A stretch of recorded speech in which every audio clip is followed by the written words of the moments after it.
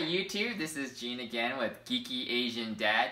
Today's challenge is can you make hummus in less than two minutes? You can see I'm using a slight little bit of cheats. Is I'm using canned uh, chickpeas. It's not open, so that's part of the time. Using tahini, which is another major ingredient. I do have this one open because uh, I make hummus all the time half of a lemon.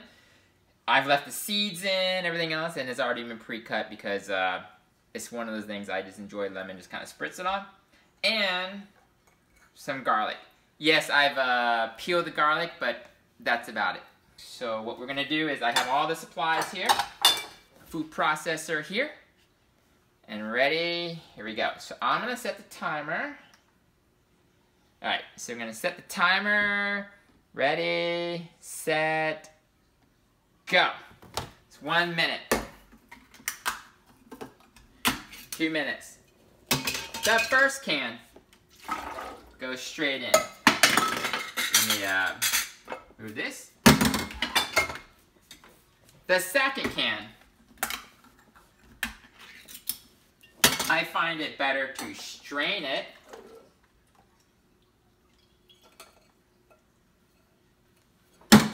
save the uh, liquid. That goes in there. Next, tahini. Get a nice scoop. I like a couple scoops in there. Okay, that's good. Let's uh, smear it all in there.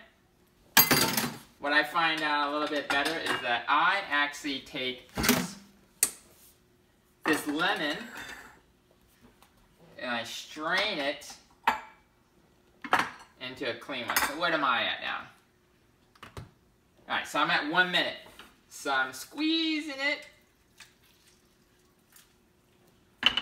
That goes in there. Lemon juice goes in there. Things go in there. I'm at 45 seconds. Oh my goodness. Boom. 35. 30 seconds.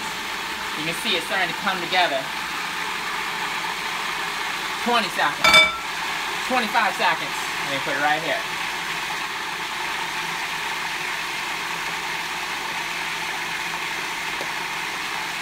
Ten. 15 seconds. 12 seconds. Oh no, am I gonna do it? Five, four, three, two, one. Oh! It's done! Did I do it? Stick. And it's delicious. Hummus in less than two minutes. I met the challenge. You can too. Stop buying your hummus, make it fresh. That's Gene Jum. Geeky Asian Dad. Any other comments or whatever you want, please put it down in the comment section. Thank you.